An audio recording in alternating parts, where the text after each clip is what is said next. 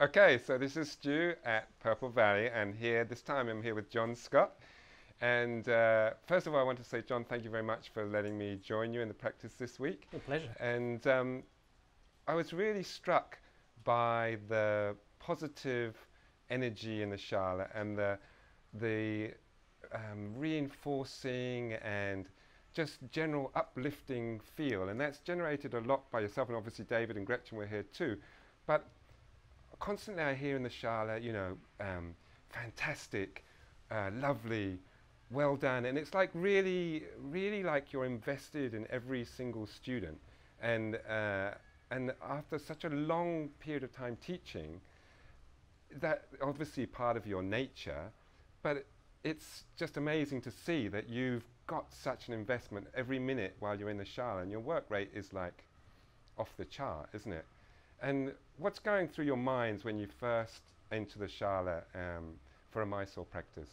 And how do you keep so buoyant all of the time?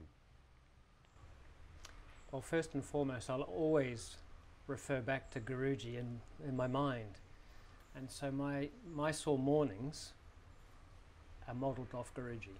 Right. And I'm very fortunate to be one of eight in a class with Guruji. Nice numbers. So I met Guruji in his 70s, and he was full power at 70. Yeah.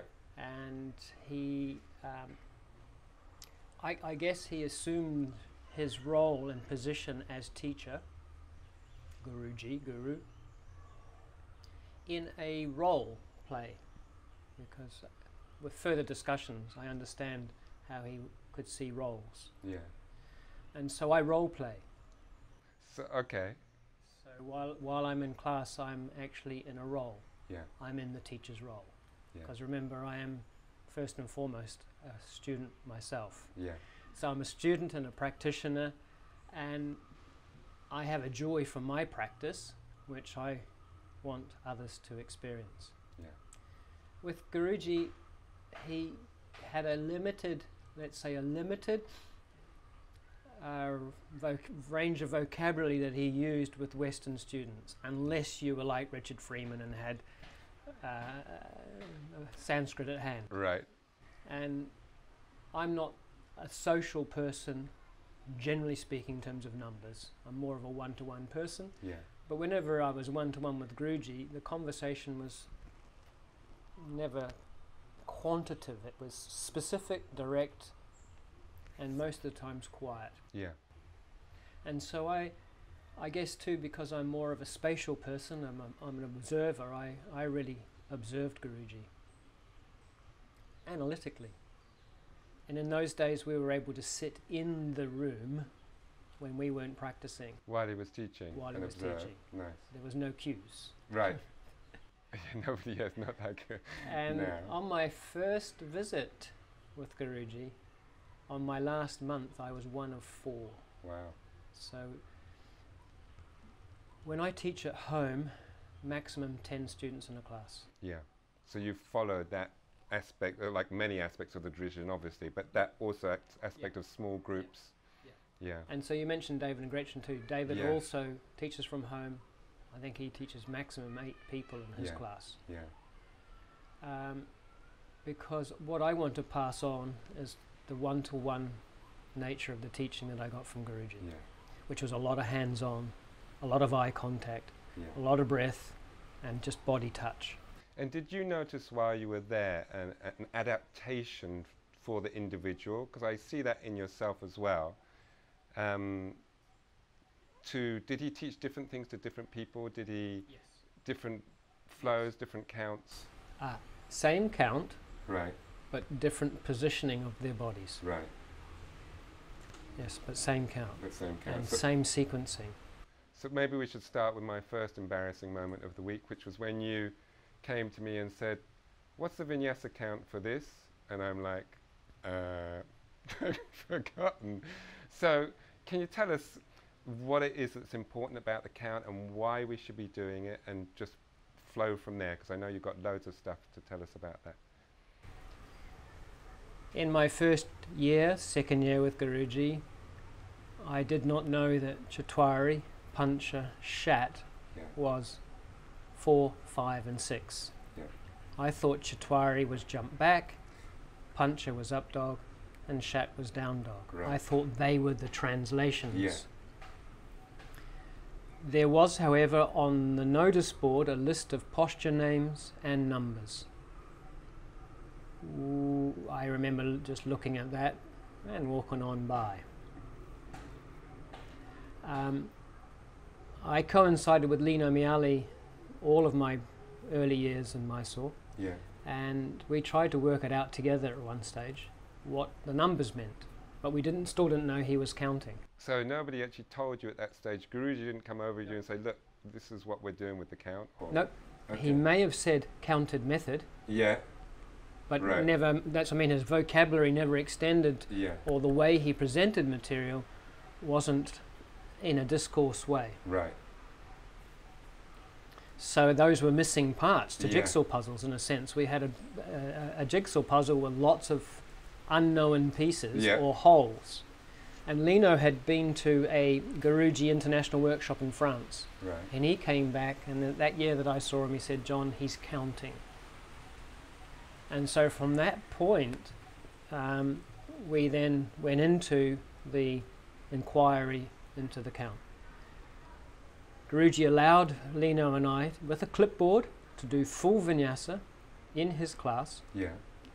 and asked him the vinyasa. He counted it to us, we wrote it down. So at that stage, how did you encounter these bits which there is no count? Because there's occasionally breaths, isn't there, in and out, uh, say, where the count doesn't continue. So did he explain why no, he was? didn't explain. Okay, so he just so, remember Guruji's s- sort Yeah. of saying is, do your practice and all is coming. right, yeah, Now that can be taken so many ways. yeah, Life's coming at you, you must be practicing to be strong for life coming, Yeah. having a technique. yeah, But if you do do your practice and do the real internal inquiry, yeah, then insights come. And there is that saying, we teach the things we most need to know ourselves.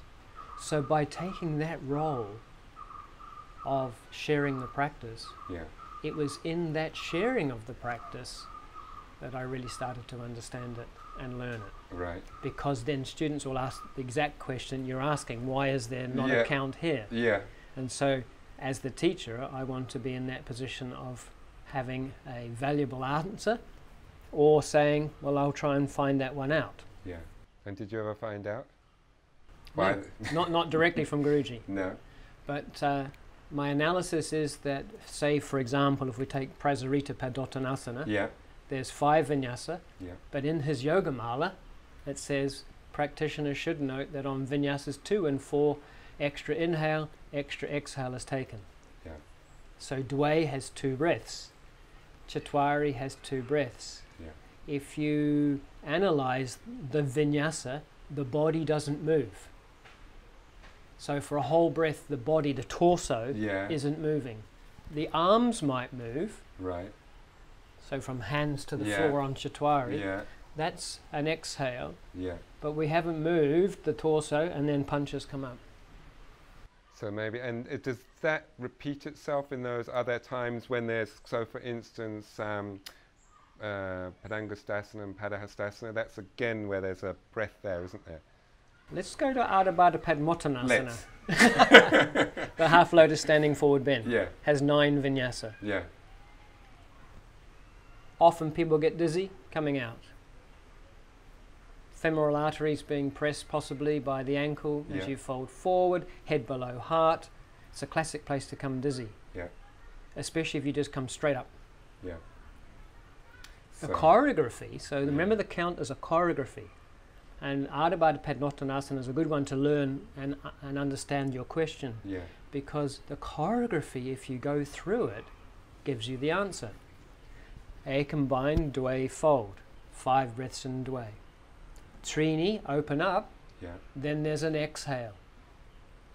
Technically, the body doesn't move, yeah, but what's happening there is you've opened up the torso, you then exhale, bend the standing knee yeah, to go from the hand, a biped of hand and foot, yeah, back to being a monoped. yeah, to come up. Yeah. So there's a point where you open up, you can rebalance the blood, exhale, you lower a little bit with Yeah. still being more or less head above heart, Yeah. and then Chatwari come up. Now your Chatwari up there, arm and a leg's bound. Yeah. You release both a leg and an arm. That's like a body movement. Yeah. Shat straight away left side. Sapta fold, five breaths. Again, Ashto open. Exhale, bend the knee, rebalance so you don't go dizzy. A good proper exhale. Yeah. Never come up. Samastiti's always zero. Yeah. So there's no number for samastiti. So that's why Ardha Baddha works out at being And that nine. and that exhale breath there, that should because I often see that as a lot of people do it really short, but that should be the same length breath as every other breath, shouldn't it? Yeah, That's in there. That's, yeah. that's what I'm saying. It's choreographed Yeah. there so you don't go dizzy. Yeah, so there should be a definite pause, a, visual pause. pause. Yeah, yeah. And it also provides, you said, like a, a mantra and um, something to focus the mind as you're progressing with the count throughout So- the practice.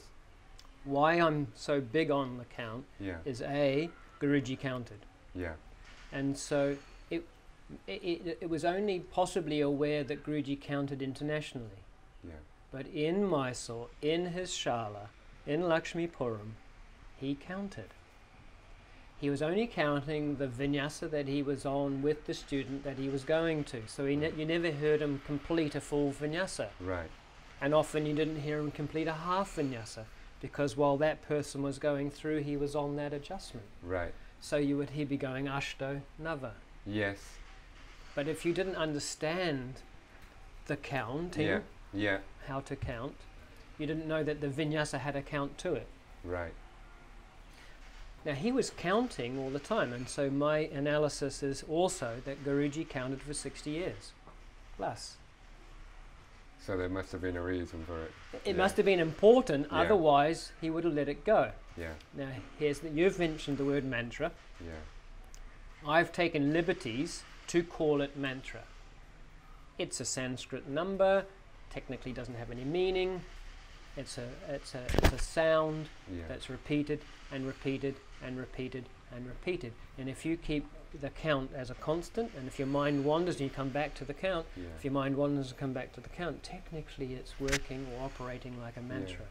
Because it does refocus you, doesn't it? Because then if you if you go off on a story, you've you it tells you you've lo- done that and you've lost the count, Yeah. haven't you? Yeah. Yeah. And so, also, Guruji did tell me once when Lino and I had done started the project Yeah. that his exam from Krishnamacharya was specifically that Krishnamacharya would ask him uh, Sapta Virabhadra, uh, Surya Namaskar B, Ah. and he would have to say Virabhadrasana. So Yeah. he, that's how he was e- examined. Was Yeah. he needed to know the vinyasa, and in a sense, it's like a GPS. Each asana has a name or a destination, Yeah. a place to arrive.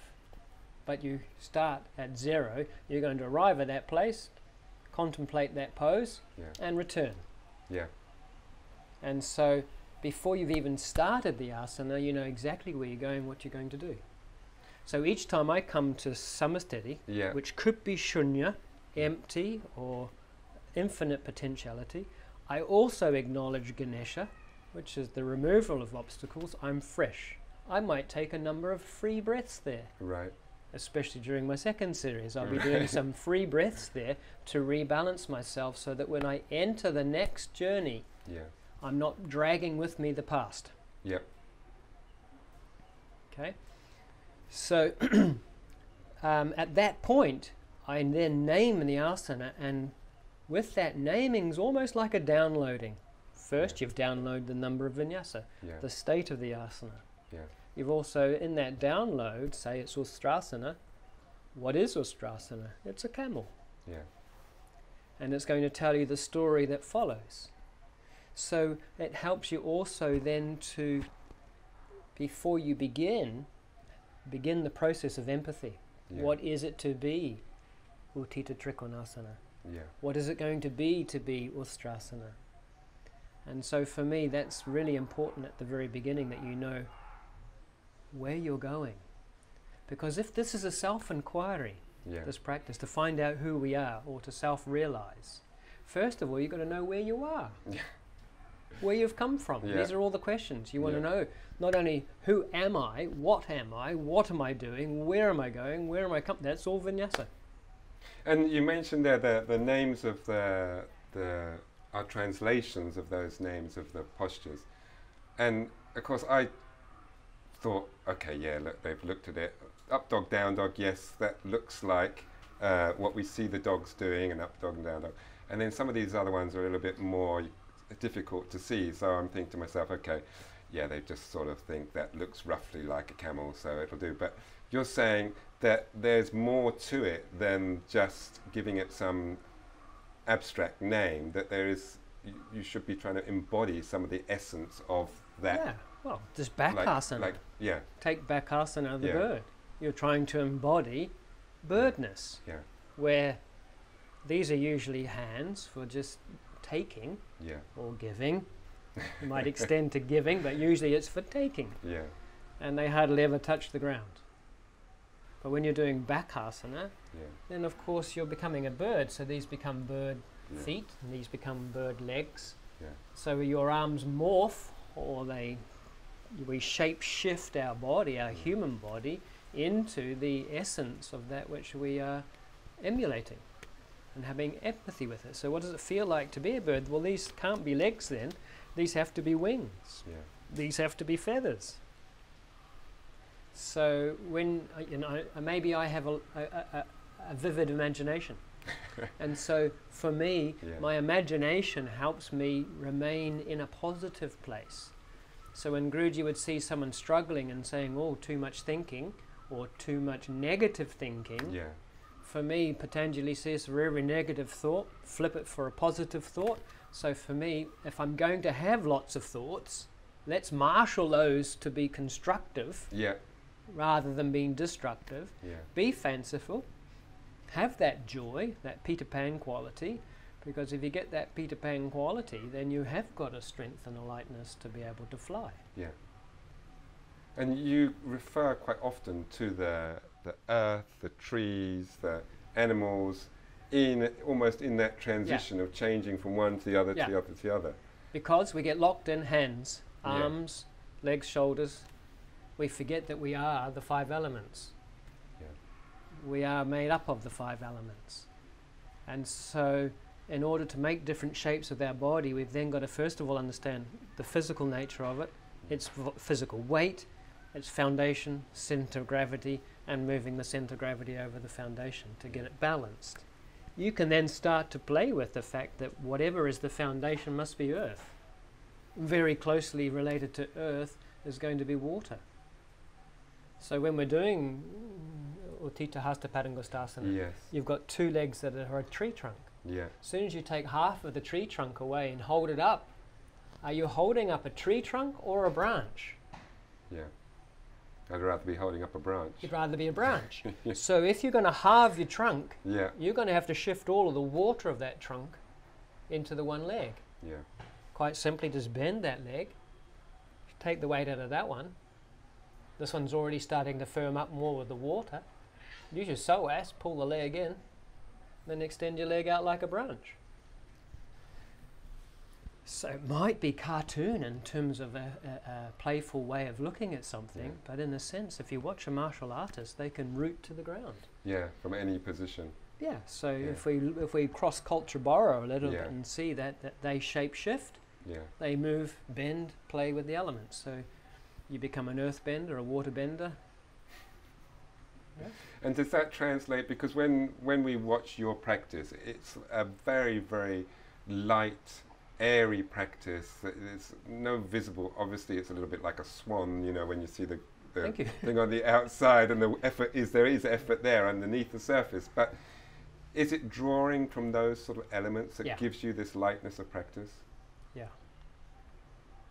Um, I guess I've uh, at a younger age I had a fascination with martial arts to start Yeah. off with, and I remember seeing an old master on a documentary. He was 70 years of age, and he said, "It's taken me 70 years to find chi." now I'm going to try and direct it. Yeah. And so, the interesting thing with Guruji in his theories, and in the old days we did have a theory class on a Saturday afternoon.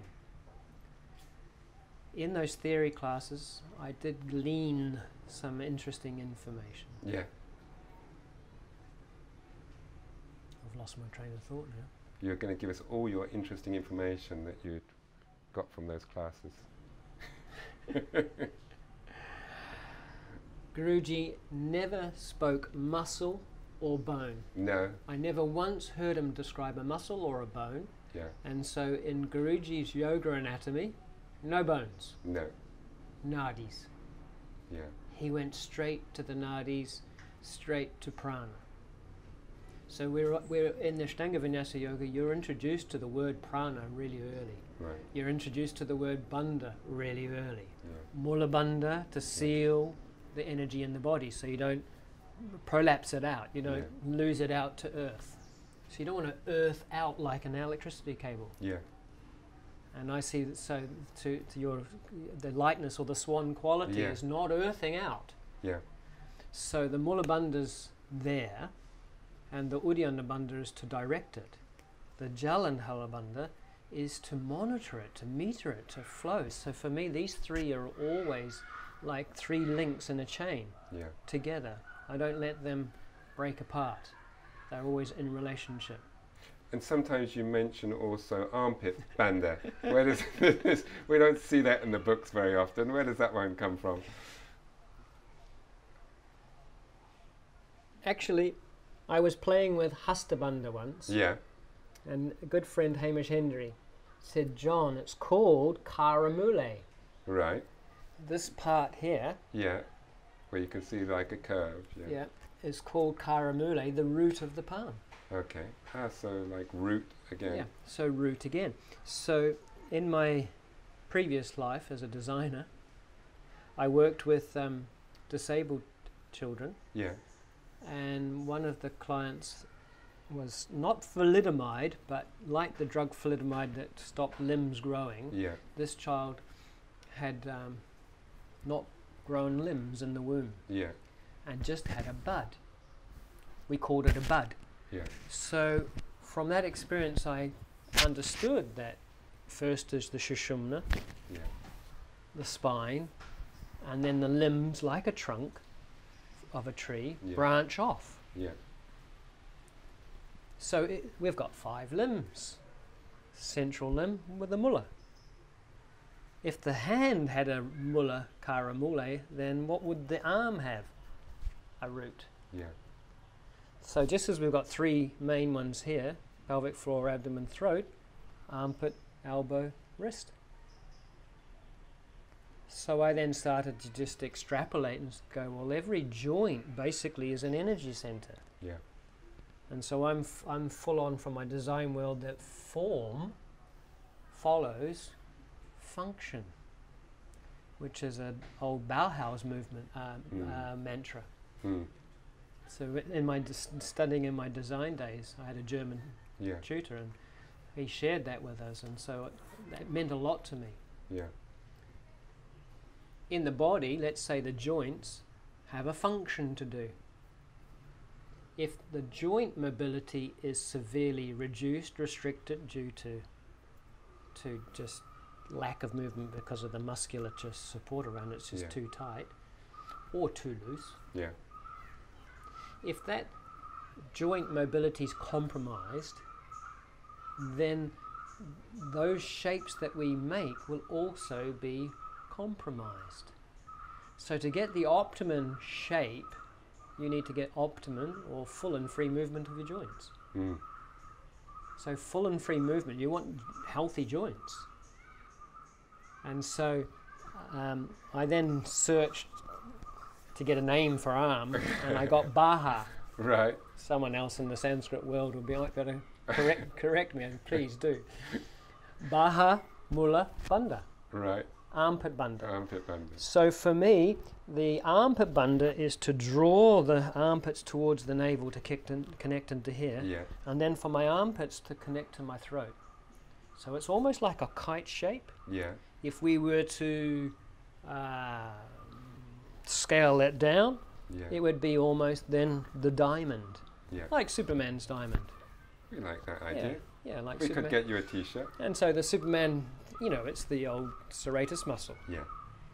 So the serratus muscle is my armpit bandha. Yeah. Having engaged that, that's where I'm able to get a little bit lighter in my practice because I'm putting that energy from my armpits down through to my hands. And that's where that control of the lifts up and down come in the vinyasas and the So just to add in here that David, Keil, and myself Yeah. have actually worked for 15 years together. yeah, So we've been friends and colleagues for 15 years, and the way we relate in our relationships lovely is because we banter backwards and forwards. Yeah. throw concepts between We- each other. Yeah, and so um, what I've discovered in my body with not having the anatomical knowledge, Yeah. David then goes, well, that's correct anatomically, Yeah. and he's able to. Um, in his academia world of anatomy, start going, well, John, there's this, this, this, this. And then, of course, that extrapolates in my head as well, and the Yeah. two of us brainstorm, and we come up with um, a new understanding of Yeah. how our bodies work. Yeah. And so for me, then, there must be a groin bandha. And so what happens is, if you've got your mullah out to your groins and Yeah. back to your to your your uddi, Yeah. and then out to your armpits and back to your throat, Yeah. in a sense, we're then through those cross lines connecting. If we just drew lines of intersection Yeah. like nadis, Yes. then we would actually get Mula, Swadhisthana, Manipura, uh, Anahata, Yeah. where it intersects the Sushumna through here. So if you think of a kite Yeah. down to the navel, crossbar across there to the armpits, that would be the heart chakra. Yeah. But I discovered it because I have a little sequence that I call the the um, baby sequence, Okay. basic babies or fundamental foundation opening. And if you're in the cat and you go into a real sort of a meditative sort of internal inquiry, and you knead the floor like a cat like a does, cat would. Yeah. you feel your right arm swelling, the armpit. Yeah. When I put my left one down, I feel a shift right to my navel. And as I change across, shift back through the navel. So I feel this diagonal shift through here. So the discoveries are because that we go into a place of real focus. and investig and the willing to explore. Hmm. So let me tie in the count again. Yeah. Usually we're just full of random thoughts outside the context of our practice. Yeah. So that's random, and that's just everyday, ordinary, ordinary thinking mind. Yeah. And when we're in our ordinary thinking mind, we're not really connected to that which we're doing. It's doing something else. Yeah. And that which we're doing is ordinary. If, however, you turn that around and have a technique that brings you into focus. For me, the count, the breath, is my number one focus. That then cuts out the unnecessary thoughts. So I then become really involved in my subject matter. Yeah. That dives me even deeper to my subject technical. I'm still counting, I'm still thinking, I've got a lot of activity going on there, but it's all specific to my inquiry. Yeah. And then if I keep, keep going in and keep the mantra going, I might go subject specific and just be counting my breath. Yeah. But there are moments where I have lots of insightfulness because nothing else is out of the in, in the way. So what happens is you transcend you transcend your ordinary thinking mind. If you transcend your ordinary thinking mind, then you see things extraordinary. They are extraordinary. So my armpit's extraordinary Rather than ordinary. rather than ordinary. Yeah. My hand's extraordinary rather Yeah. than ordinary. I see it now as being more like when, if you think of a child, it's not until about uh, 18 months to two years that the part of the brain called the hippocampus starts to file the experience. After that, we reference back to those memory files. So there's memory, and with memory there's emotion, so close. Then there's associations, assumptions, and projections. So in our ordinary thinking mind, we're going back to some past experience or some re- past referencing. We make associations, we make assumptions, and that's we then project out that reality. Prior to that age, the baby is in total sensation. The senses are fully alive in terms of what they're experiencing. Yeah. And we can't really say that when they look at their hands, that they're not just seeing balls of light, Yeah. like Neo Yeah. Yeah. in the Matrix. yes.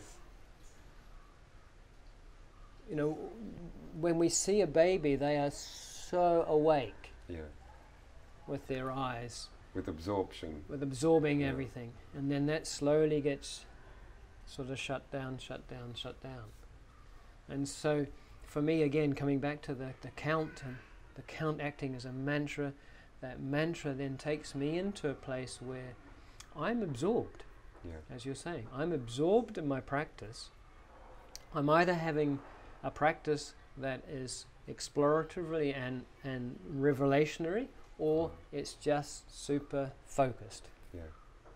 And that count, it starts before the in breath. How does it situate itself? Because I know when I've been trying to do it the last few weeks now, I've been, it seems to be lasting somehow all of the inhale. But that's not what it's meant to not meant to happen, is it? It's meant to be the count Yeah. first, sort Yeah. of. So Yeah. where is it coming? Is it coming at the end of the exhale, or, or uh, Let's look at it the, the, the different way.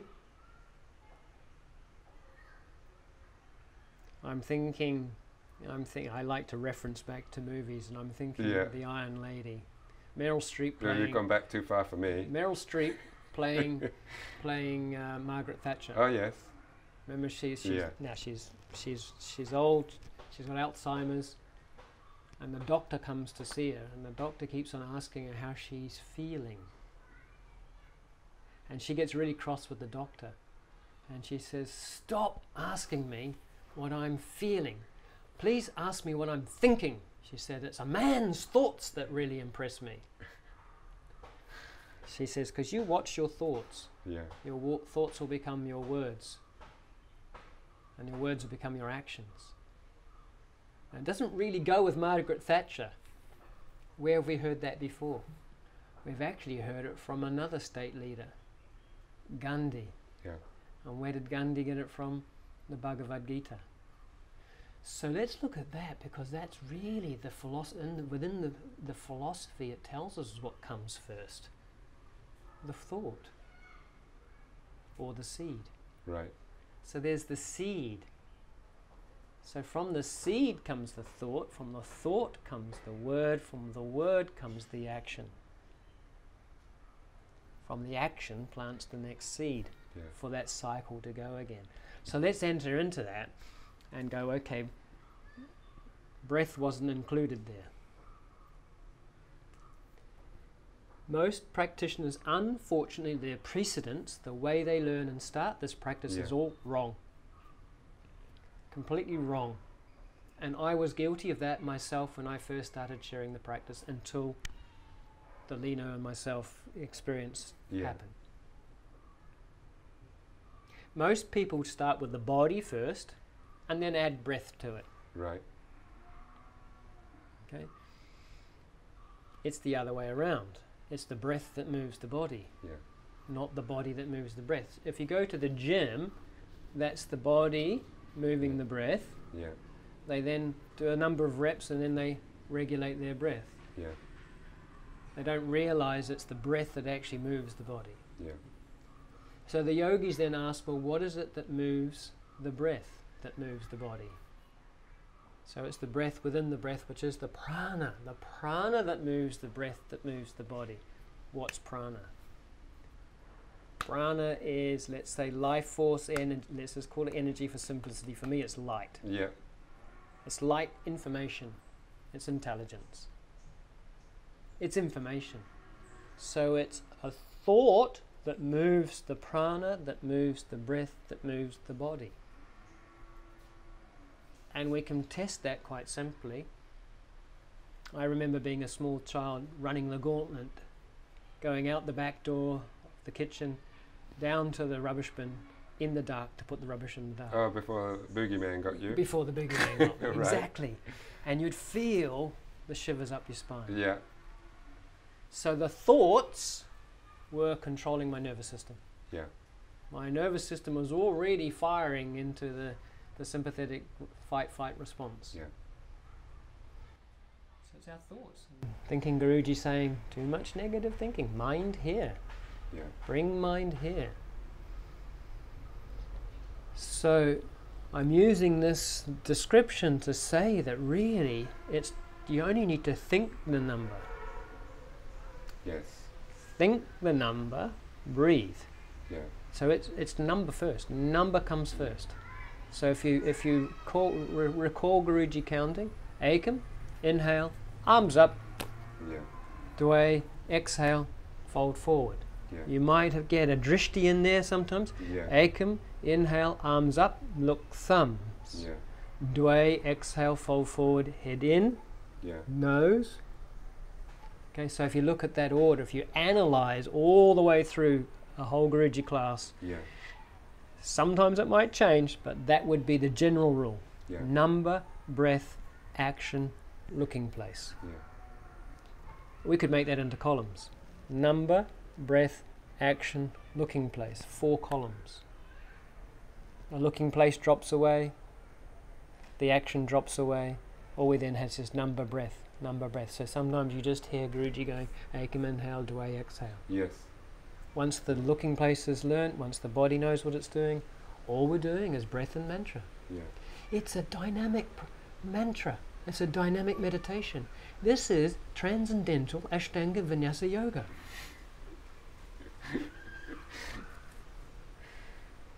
It's just a meditation yeah, moving. So yeah. I used to pontificate and say this was a movement meditation, but I didn't know how. How, right, How to describe it. Yeah. What was the key? What was the real technique? yeah, And so through practicing, practicing, and teaching and teaching, all of a sudden, through the years, the comings come, or the coming to understand yeah, how this happens. And so, what happens for, for Guruji for those 60 years?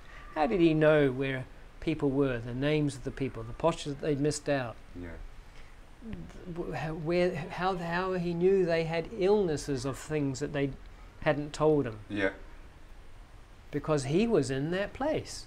yeah, So, the count is twofold. The count keeps the teacher focused. The count keeps the teacher neutral, in summer, equal. yeah, And so that original question you asked me, how do I keep alive in the class, yeah, is I'm counting. right, So if I'm counting, I'm not going into my ordinary thoughts saying, it's three hours. yeah, yeah, yeah, what am I going to have for lunch? Yeah. Yeah, So if I go into that place three hours and lean against the wall and put my foot against the wall and yeah, just watch for a moment, yeah, am I not exiting out, yeah, dropping back into ordinary state thinking? If I then enter into ordinary state thinking, I'm going back to memory associations. yeah. I'm going back to my story. But there's an absorption, isn't there, from your point of view of everything around you, because you always seem to be in the right place at the right time when somebody needs you. Maybe So- not in this group. it's a quite a big group, isn't it? Yeah. it's Yeah. a big group. Maybe. So, yeah, Yeah. in the ideal world. But you're so you're not necessarily you are observing, but at a, at a subliminal level, maybe, because you're counting, but that Yes, information is still coming coming, in. into you. There's so much information coming Yeah. in. Yeah, And, and, and, and I, I, I gather what happens then is your ordinary filters aren't there. yeah. So you're not overlaying your own experiences onto what you're seeing. Yeah. So, so, so without putting your filters there, yeah, if you take your filters down, yeah, then you're getting a, a, a, a more direct line yeah. perception of what's actually going on in the room. Yeah. So if I rewind you for a sec and say, so I have been like saying those numbers to myself, which is why Yep. they've been being dragged out, really. So it's really That's just fine. a thought. Is it? Would it be better for if it's just the thought of a number Yeah, and then the rather breath than follows. the saying the breath Yeah. follows? Yeah.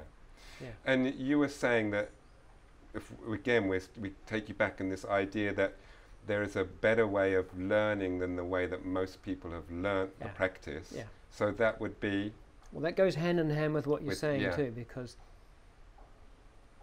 mantra, especially in transcendental meditation mantra, is mm. whispered in your ear. yeah, Okay, so you, you get it whispered in your ear. But Guruji was counting out aloud. He was transmitting it aloud. yeah, Ekam, Dway, Trini. So what ends up happening is you, I get my beginner students to do that. I call that with voice. yeah, If you voice it as you practice, you're going to compromise your breath for sure. yeah, And you will lose your attachment to the shape and the form of the postures and the, the movements, transitions that you're doing, Yeah. which is great. It's good to do that.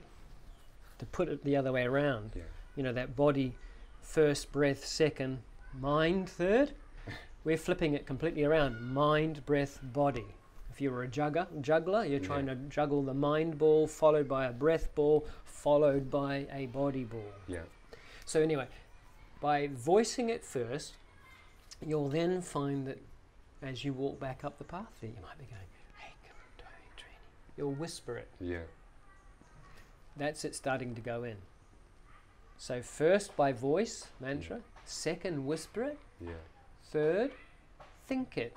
yeah, So you're trying to think it. You mm. might need to take a step back, yeah, voice it yeah, as you do it, exp- really express it, somatize it that way. Then close the mouth, get back into the breath, start thinking it. yeah, And as the same with getting a mantra, it then starts to rise by itself when you know it. So I know the count. yeah, I just stand on my mat and it arises. yeah, So I now hear it. As opposed to voicing it, whispering Yeah. it, thinking it, I now hear it, yeah. which means you know it. It is. It has become. it's in there. It's become you. yeah. Otherwise, you're getting, oh, yeah, what was the one Yeah. after this one? Yeah. mm, yeah, Okay. yeah, And so I can now say I've been counting over 20 years. yeah.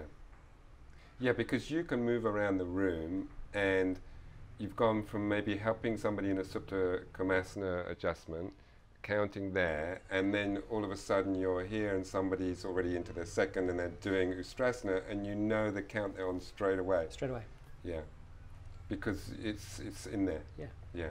And so you're working, let's say, on a heightened level of awareness. Yeah. You've used a technique to get there. Yeah. And you mentioned a little bit earlier about movement of energy and the chakras we, we mentioned. And you talk a lot about uh, the movement of energy in the spine and that flow of energy up and down and how that should influence maybe our, well, obviously all the asanas, but in particular maybe the forward folds and the back bends. And you have a certain way of teaching uh, back bends that a lot of people I've talked to have found very advantageous, in particular drop backs. And you're talking about this flow of energy forwards and backwards. Can you just explain a little bit about that for us?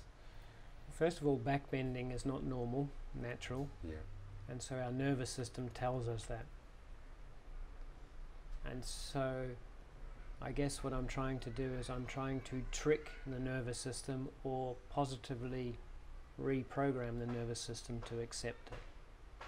I also understand that the pattern of patterns is inhalation, exhalation, or exhalation, inhalation. And the body fits into that pattern. In simplicity, exhalation. yeah, The sun's gone behind a cloud, flower closes. Sun comes from out behind a cloud, body opens. yeah, So let's say this is an exhalation pattern, the inhalation pattern, yeah, exhalation pattern, inhalation pattern. So I've also listened to Guruji going head down, head up, head down, head up, and looked at the relationship of what the head up, head down is to breath. yeah, and then been more even more specific. So the head is up on inhalation and the head is down on exhalation. In synchronicity of that, the head is up last on the inhalation yeah. and first on the exhalation. So that would translate into what you've had us doing with the with the up dog and, And then the chaturanga up yeah. dog So down dog. so up yeah. dog down dog is a really important transition. Yeah, A lot of people stay caught in what I call the inhalation pattern. yeah, So then this is all stress related. This is all stress. We're caught up in stress. yeah, So we get caught in the inhalation stress pattern. yeah, And so often there's lots of neck and shoulder stuff that Yeah. comes to class. And I see it all held in the head. yeah, And so up dog's happening from the head. yeah, And down dog's ha- happening from the head. And it's nothing's changing. yeah, And so for me, it's becoming, as you said, fluid, being fluid in the spine so that it's flowing. yeah, And so on the inhalation, it's the heart moving, following by the head. And on the exhalation, it's the head. Now, as my head tucks like this, look at my navel, yeah, it goes in. yeah, And so that then means my psoas is doing the lift when I'm doing from my up dog to down dog transition. Yeah. I know, uh, um, just before you go on to the next bit, I know when you've adjusted me in that transition from the up dog to the down dog, there's quite a dynamic tucking of the head and the lifting. Yeah, my hands the on the back of your head, my hands Yeah. on your navel, and I go like that. Like that, yeah. So when when we're on our own, are we still looking for Yes. that quite a sharp Yeah. dynamic movement? Yeah, it's, yeah. A, it's a switch. Okay. Yeah. So because quite often it's like Yeah. the movements are quite slow and and Yeah. particularly on the coming up, shall we say? But then we change a little bit of tempo with the tucking and Yeah. okay, Yeah, And remember, the tempo, the change of tempo, yeah, means that the inhalation, exhalation of the transitions vary. right, So, technically speaking, in the vinyasa, yeah, the movements to an asana and out of an asana yeah, fluctuate according to the, let's say, the load on the body. okay, Chatwari jumping back is, a, is much different to Ekam. yeah, So, especially at the beginning stages, they Yeah. can't be the same length. right. Because yes, so maybe I'll draw you out on this because, but then if you're thinking, okay, movement follows breath, then a, a metered breath would be the same, and you would have to adapt your movement to yes, fit but the into the metered the, breath. the- yeah, so don't meter the breath. Okay, It's got to be free breathing. Guruji was always saying free breathing, don't hold the breath. That's what I'm saying. Akam is going to be shorter than Chatwari. Chatwari has got to be quite explosive, but you've got to jump it back. You can't hold Chatwari's breath, no, but you could draw it out longer, and only if the body matches the breath. okay, Okay, what comes first, chicken or the egg? yeah. But then we Stiff the body, chicken- get the breath moving, yeah, get the heat going, warm it up, loosen the body up. yeah, Then the breath will start stretching. Look at Surya Namaskar A and B.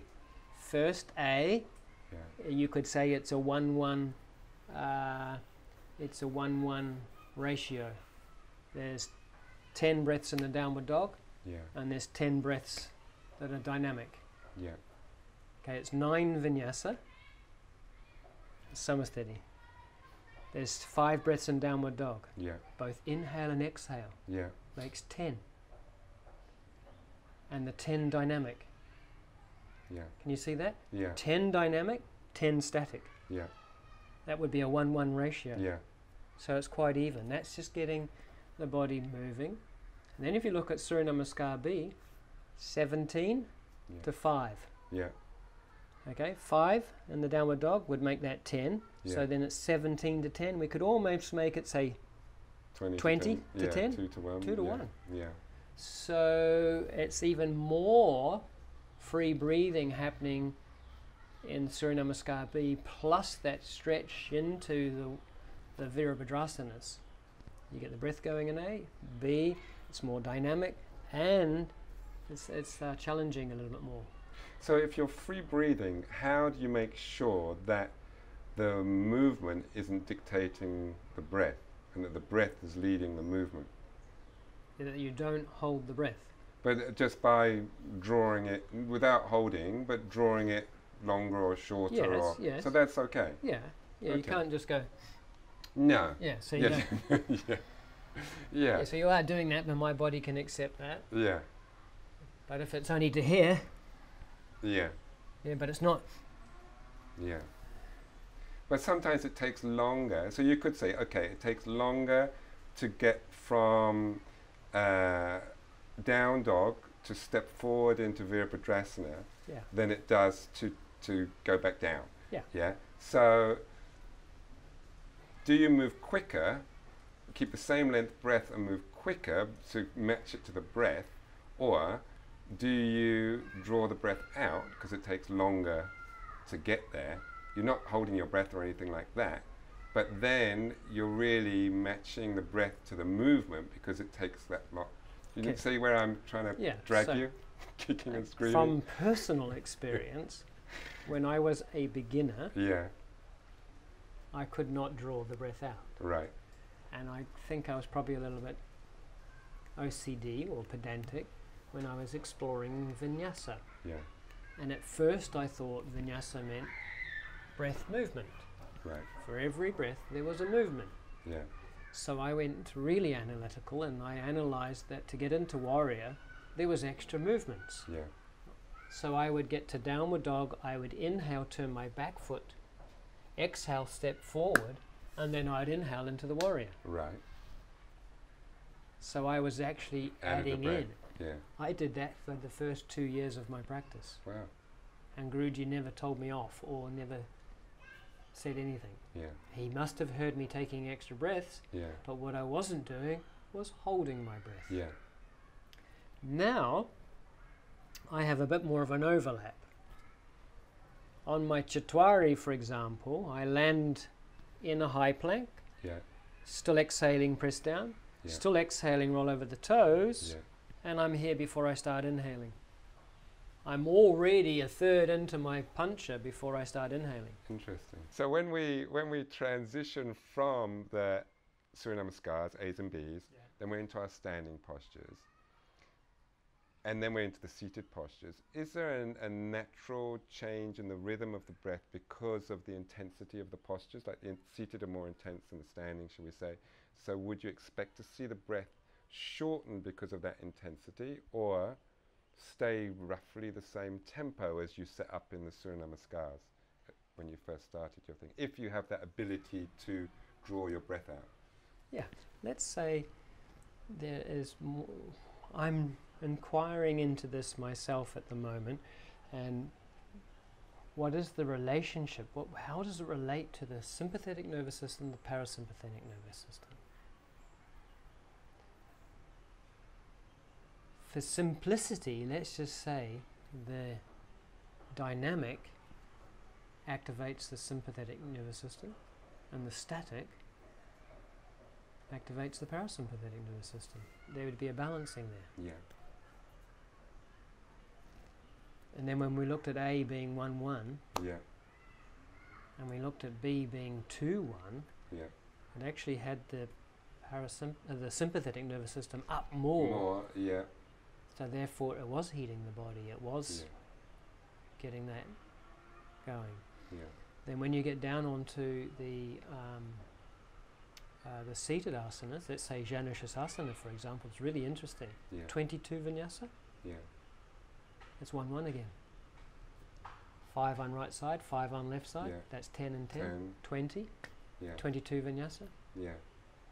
And you do notice that that is a very relaxing posture, isn't it? Well, if you do the full vinyasa, Yeah, if you see, if you do the full vinyasa, you Yeah. are balancing yourself out. yeah, If you're only doing half, yeah, then um, you could be rest and digest too much, yeah, going the other way, meaning the breath gets too long, too slow, yeah, and you lose the plot. Or if it's more of a beginner person, you're not bringing them back to vertical to really rebalance before they start on adding another one Yeah. on top. Because you don't see that many people doing full vinyasa, do you? But I, I know you you encourage it, and, and particularly between, say, those that little our little camel train in Yeah. in the second sequence. Um, so you would encourage people to come up to standing. So and and perhaps you can explain then also that's why the count is the count when you're not coming up. when you're not coming up, you're overlapping two counts. Yeah. And so I describe it as Guruji describes it, mala. Right. Each asana, you could make a mala. So I made for the group some malas. Right. I bought some um, japamala beads and I then threaded them, or sorry, cut them, Yeah. got the big ones and the small ones, and I threaded them to show how each posture is like a mala. Yeah. So, for example, Trikonasana, you would have two big beads which represent the right side and the left side, Yeah. and you have another three beads that are slightly smaller that are the vinyasas between, and you have one extra long one which represents Samastiti.